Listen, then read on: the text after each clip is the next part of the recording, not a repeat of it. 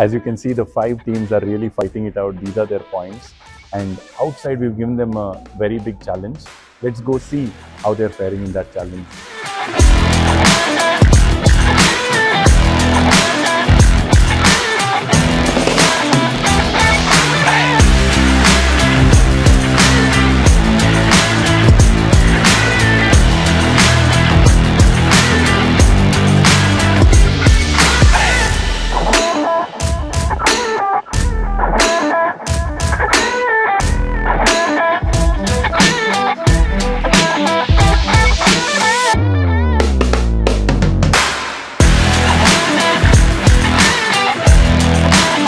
Learned a lot of things about team bonding, appreciation, and uh, how to work in a stressful environment. I think this was one of the best days I've had at my organizations. It was out of the box for us.